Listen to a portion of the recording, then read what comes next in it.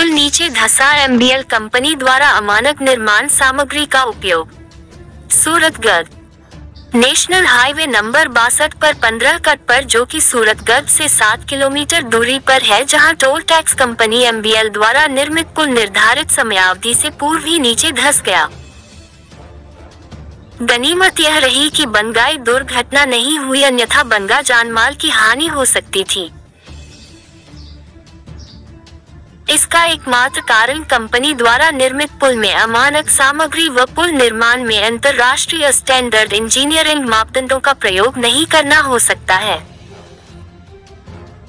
इसके विपरीत अंग्रेज़ों द्वारा बनाए गए पुल व बिल्डिंगे आज 200 वर्ष बीत जाने पर भी वैसी की वैसी खदाई है।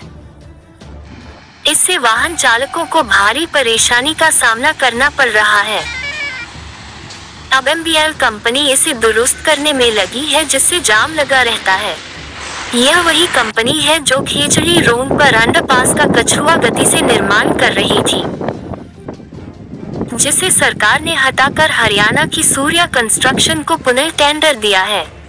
तुर्रा यह है टूटा पुल व क्षतिग्रस्त रोड होने के बावजूद एम कंपनी अनवरत टोल टैक्स वसूल रही है।